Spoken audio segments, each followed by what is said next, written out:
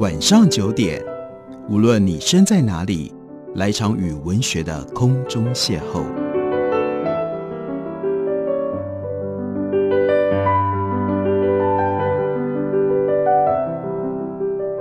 杨照谈书，邀您一同遨游文学世界，认识古今中外的经典之作。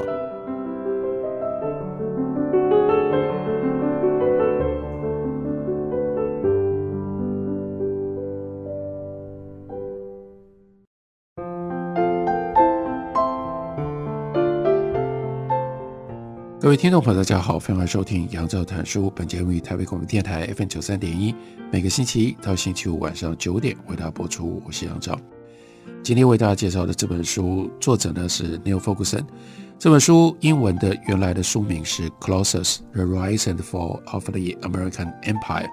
中文翻译本刚刚由广场出版公司出版，把它翻译成为《巨人：美国帝国如何崛起，未来能否避免衰落》。不过这本书原来是出版于二零零四年，二零零九年有一个修订版，距离今天二零二一年已经有了一段时间。尤其是如果要讨论美国，那这一段时间当中，我们看到川普的崛起，以及到上个月底，川普终于从白宫撤离，而 Joe Biden 取而代之变成了美国总统。所以回头看二零零四年所写的关于美国的分析有意义吗？这里很重要的是，Neil Ferguson 特别在二零二零年为台湾版的读者写了一篇新的序言。这个新的序言关键的重点就是帮我们整理从二零零四年到现在发生了什么事，还有为什么我们今天仍然应该要来读 Neil Ferguson 在二零零四年所出版的这本书。对于美国的历史，尤其是美国如何崛起变成一个帝国的历史，到现在还有哪一些面向？是深具现实意义的。Neil Ferguson 明白的说，自从2004年以来，世界上最大的地缘政治变化，无疑是中华人民共和国的崛起。中国不只是世界第二大经济体，而且正在加速迎头赶上前面的第一名，那就是美国。而且中国变成跟美国竞争的超级大国。2004年《巨人》出版之后，到2007年这个时候呢，New Ferguson。他写了一篇文章，谈什么呢？谈 s h l a r i k 跟他共同创造的一个名词，这个名词现在还蛮流行的，在英语世界里面叫做 China America。China America 很明显的就是把 China 跟 America 两个字并在一起。那这是在《巨人》这本书第八章最早就写到的，称之为叫做中国跟美国经济体的奇特的融合。这不就是势不两立的敌对的两个对头吗？怎么可能他们会结合在一起？尤其在二零二零年、二零二一年，我们回头看，经过了川普政权，这还有意义吗？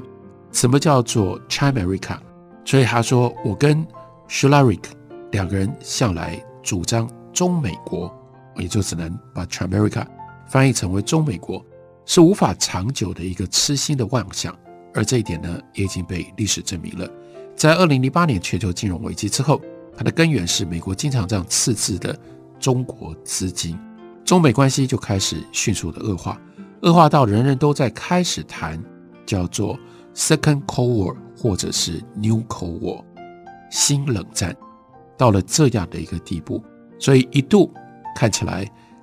中国作为世界的工厂，美国作为中国世界工厂产品的主要市场跟主要代理人。因而所结合出来的这个 Chimerica，从二零零八年之后就开始越来越难维持得了。到了二零二零年，这个时候不只是 Chimerica 不再能够用这种方式维持下去，甚至呢，这两者之间可能挑激起新一次新一个时代的冷战。前一次的冷战，它的对立的两极是美国跟苏联，现在看起来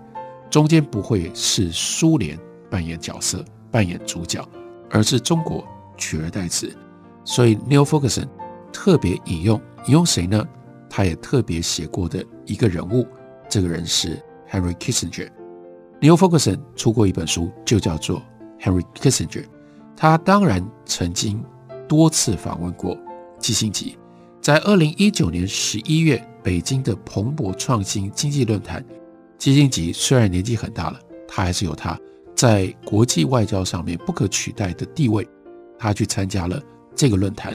仍然相当的活跃。而在这个论坛上面呢，他就接受了 New Focus 的最新的访谈。在访谈的过程当中，基辛格就明白了说：“我们已经走到了冷战的三角边。”那 Focus 说这样的话并没有让他吃惊，因为打从那年年初开始，二零一九年年初，他说我就已经看清楚了，美国跟中国之间正在上演一场新的冷战。二零一八年初始于关税跟智慧财产权盗窃的。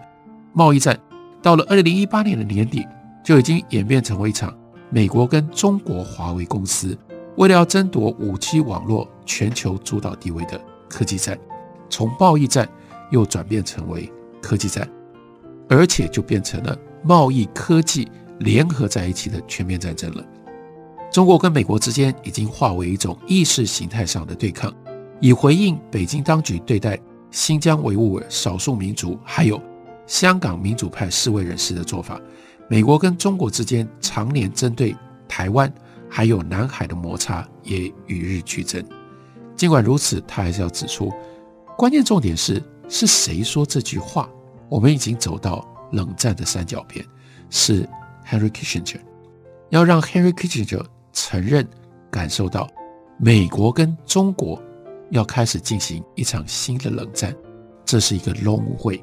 因为这非同小可，基辛格就是让美国跟中国开始接近，甚至可以说打造出后来的 Chamerica。它的最主要起始的 architect，这个建筑师、设计师，不就是基辛格吗？从一九七一年基辛格第一次密访北京以来，他一直是中美交往政策背后的操刀者，长达四十五年来。中美交往的政策都是美国外交政策的主旋律。这件事情根本改变了冷战中期的权力平衡，就是因为美国拉拢了中国，才使得本来美国跟苏联两极化的冷战结构开始转变，把苏联推向了劣势。而且基辛格的做法，这个中美的外交政策，也为历史上规模最大、发展最快的中国工业革命创造了地缘政治的条件。这件事情也在中国加入了 WTO 世界贸易组织之后，导致了 China-America 的诞生。那北京跟华府的关系怎么会恶化的如此的迅速，以至于现在连打造出 China-America 的基辛格都在大谈美国跟中国可能形成的冷战呢？一个常见的答案指出，因为川普总统呢，他是像一颗大铁球一样。撞向自由国际秩序，因此新冷战不过就是 America First 美国优先策略的不幸后果之一。不过，这样的观点对于 Focus 来说，他提醒，太过于看重美国外交政策在川普上台二零一六年以后的转变，却忽视了其实这个转变不是等到川普上台才开始发生的。那是什么时候呢？是二零一二年。二零一二年，这不是。奥巴马在第二个任期当中，美国应该是在政治上面没有激烈的变动，但我们不要忘了，二零一二年发生的激烈变动在中国，那是习近平就任中共总书记之后，中国外交政策从中国这边发生的改变。未来的史学家福格森大胆的这样预言，会发现中美国 （Chamerica） 的衰亡始于这一位新任的。中国领导人，在全球金融危机之后，他认定没有必要继续遵守邓小平当时所定出来的这个路线。这个路线呢，要让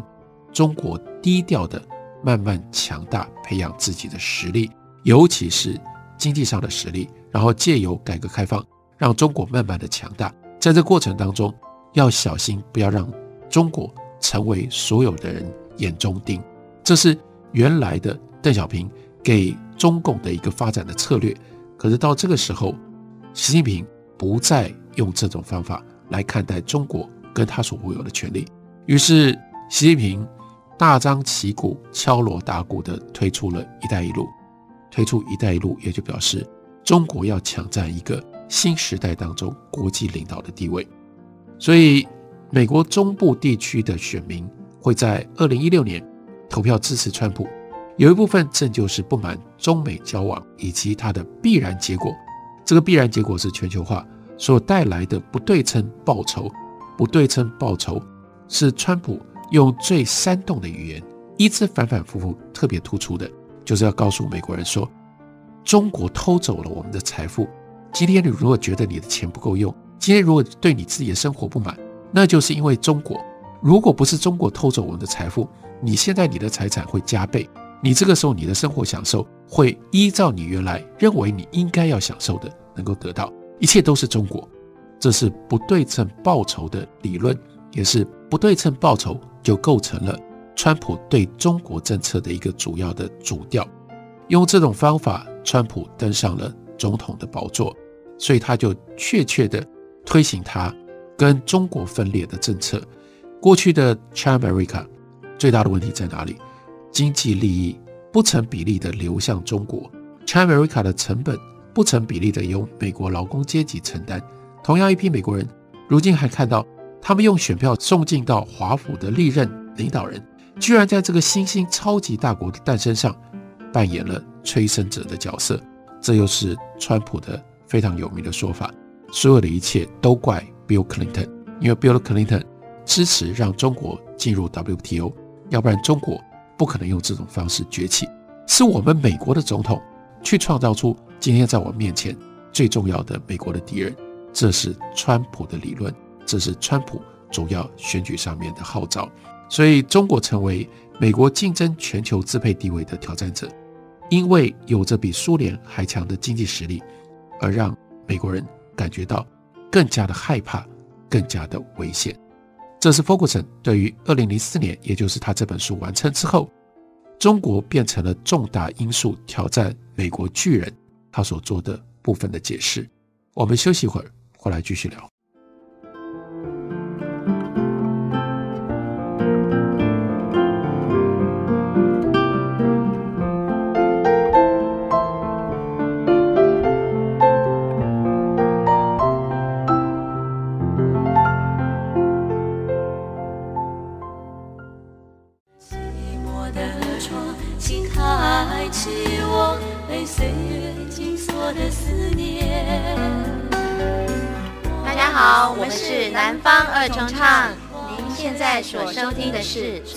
活力的台北广播电台，FM 九三点一，AM 一一三四。我是否还算是你的从前？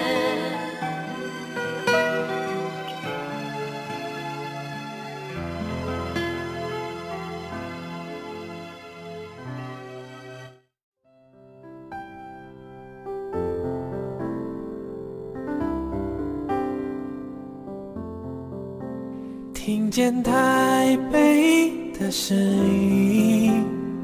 拥有颗热情的心，有爱与梦想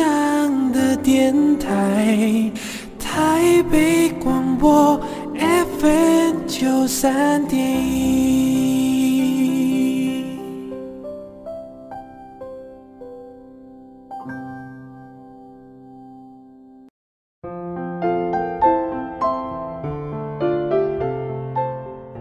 感谢您继续收听《杨照谈书》。本节目以台北广播电台 FM 九三点一，每个星期一到星期五晚上九点为大家播出到九点半。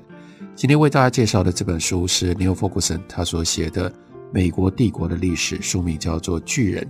这本书原来写到二零零九年，不过为了台湾版，Neil Ferguson 很够意思，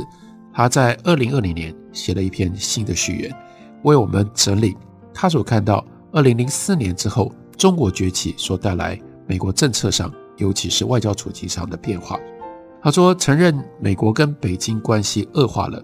不只是季辛吉一个人，另外一位中美交往政策的长期信徒，也就是一直不断的主张、一直不断的支持美国应该要跟中国保持良好关系。这个是 o v i l l Shell，他也在最近承认这样的一个路线已经失败了。他说，因为真正有意义的交往可能导致国内要求更多的改变跟改革，恐将导致中共政权最终走向覆灭。因此呢，中共对于这样的一个和美国越来越亲近的政策也深感矛盾，所以在习近平上台的时候，对这个政策也开始要有逆转的调整。与此同时，批判中美交往政策的保守派也就迫不及待，在这个政策的看起来即将衰落的这一个状态底下，开始伤口上撒盐，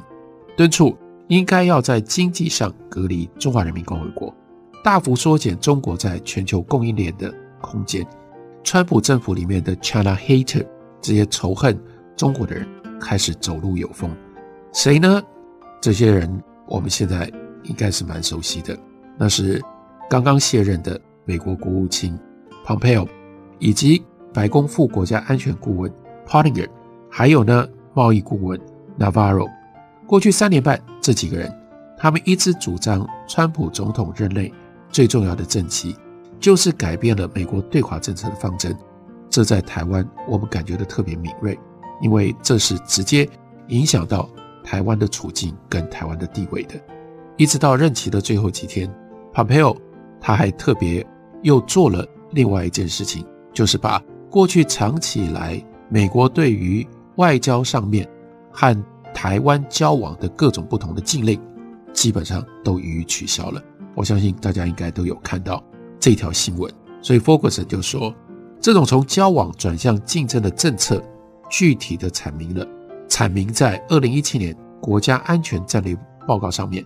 二零二零年的各种不同的事件证明了这个转变。二零二零年多增加了一个重大的变数，福克森也提到了，那当然就是新冠肺炎大流行，以致让新冷战的情势升温，还向过去持怀疑态度的人揭露，新冷战已经形成，确实存在。中国共产党是这场大灾难的罪魁祸首。首先掩盖新冠病毒的危险性，然后呢推迟可能阻止病毒传染到全世界的措施。然而现在中国却想要为拯救世界免受自己所酿造出来的危机邀功。中国政府大量出口廉价但不太可靠的呼吸器、筛检试剂跟口罩，试图从自己招致的失败当中可以反败为胜。中国外交部新闻司，我想很多台湾人都很熟他。而且呢，看到他都很讨厌。副司长耿爽，甚至宣传起冠状病毒是源自于美国的阴谋论，并且在推特上面转推一篇文章。那篇文章声称，一支美国团队在去年十月到武汉参加世界军人运动会，在那个场合里面，是美国人把病毒带到了武汉，带到了中国。同样令人难以置信的是，中国声称。香港民主派的抗议潮一再发生，是因为美国在后面操控。当前针对前英国殖民地地位，也就是香港的地位的冲突，毫无疑问，福克森说：“这怎么会跟英国有关系？这怎么会跟，尤其是不可思议，怎么会跟美国有关系呢？这都是 Made in China，这是中国制造，是你中国自己在统治香港上面所出的问题所产生的。”庞贝尔说。北京强加于香港的新版国安法，实际上已经破坏了香港的半自治的地位。这我们也很熟悉，我们也清楚。北京还撕毁了1984年的中英联合声明，对英国来说格外的不舒服，格外的不受用。也因为这样，所以英国就大推，希望让在1997年之前就已经在香港出生的香港人可以得到英国的庇护。这是我们看到这一连串的变化发展，都是英国跟美国对中国有了更高的敌意。在这样的脉络底下，美国大众自从二零一七年开始，对中国的情绪明显变得更加的强硬。当然不让人意外，如今中国是民主党跟共和党两党少数有共识的主题之一，这是一个重要的事实。对于中国的强硬的态度，不是川普一个人。不是共和党一党的主要的政策，拜登跟民主党在这方面不可能完全改变川普的态度跟川普的政策。对于这样的一个最好的写照，那就是拜登的竞选团队多次尝试把拜登描绘成为比川普更反中的鹰派。在香港议题上面，民主党借由众议院的议长 Nancy Pelosi 就跟 Pompeo 一样，表现出怒不可遏。这是 Pompeo，他是在香港问题上面发言最多，而且有最多强硬的态度表现的一位美国主要的政治领导人。不止如此，川普政权比近年任何一届的美国政府更公开的支持台湾政府。福克斯当然知道。他这篇文章是要写给台湾的读者看的，所以他一定会提到台湾。不止川普，我们同样有理由预期，拜登的政府会继续执行这项政策。拜登现在已经赢得了总统大位，在他旁边非常重要的一个跟国防事务有关系的幕僚，这是 Michelle Flournoy。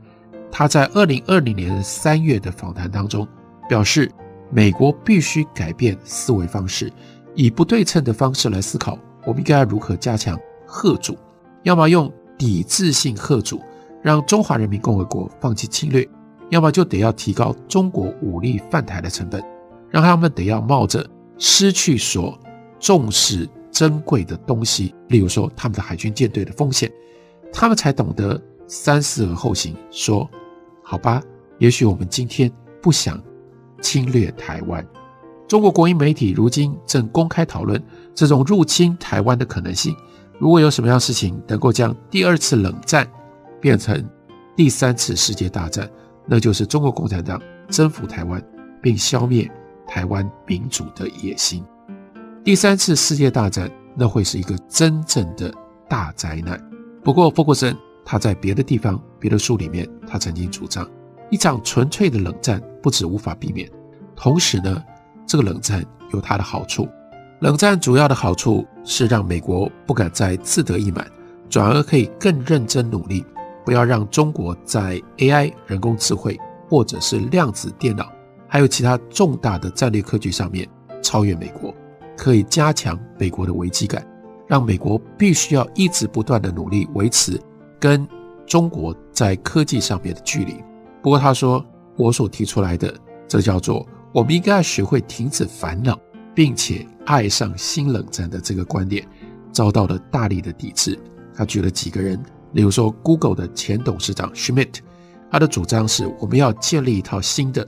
cooperation 的模式，让中美两国导向竞争性的合作关系。在这个模式当中，美国跟中国会以三星、Samsung 和苹果 Apple 公司行之有年的方式。既竞争又合作。另外，他又举了一个例子，这是哈佛大学的 Alison，他也呼应这样的想法。他认为，新冠肺炎大流行已经使得美国不可能清楚辨别中国到底是敌还是有，所以唯一的选择，最好的选择就是建立这种竞争性的合作关系。虽然听起来很复杂，但是 Allison 说，人生人的事物本来就很复杂。他们的主张听起来都很合理，但是 Ferguson 提醒他忘了一件事情：中国共产党是神送吗？中国共产党不是神送。今天支持竞争性合作关系的人，就像前一场冷战，在美国跟苏联的冷战关系当中，抱持的鸽派立场的学术圈，尤其是一九六八年之后，他们希望跟苏联和解，他们希望跟苏联和解，他们希望拉拢中国。那你就忽略了中国人对于叫做 “friend enemy” 亦敌亦友的关系，他们有兴趣吗？他们想要跟你进入到这样的一种关系吗？Samsung 最大的特性是，他们接受，而且他们愿意介入跟 Apple 既敌既友的这种又合作又竞争的关系。然而，中国人，尤其是在习近平的领导底下，他们不是这样的态度，不是这样的立场。他们很清楚，这就是一场冷战，因为这场冷战是由他们先开始的。所以，，Focuson 说：“我去年第一次在会议上公开谈论新冷战的时候，我很讶异的，因为在会场上有中国代表，但没有任何中国代表反驳他。我在九月问他们其中的一个人，他没有说这个人的名字，是一个掌管重要国际机构的中国人，为什么没有人反驳他？”然后他笑着回答说：“因为我同意你。作为北京清华大学的客座教授，这是 Ferguson 他的中国经验，他的中国背景。他说：“我亲眼目睹了中国在习近平统治下的意识形态的转变，研究诸如文革等禁禁忌主题的学者，纷纷受到调查或者面临更糟的灾难，而对西方采取好斗立场的人，则步步高升。所以，我们真的应该好好的，不只是来读一下美国帝国如何崛起，未来能否避免衰落的这种历史的论述，同时好好的看一下。” Ferguson 对于从二零零四年到现在中美关系的他的一些观察跟他的一些预测，这本书书名就叫做《巨人》，光道出版公司刚刚出版的新书。感谢您的收听，明天同一时间我们再会。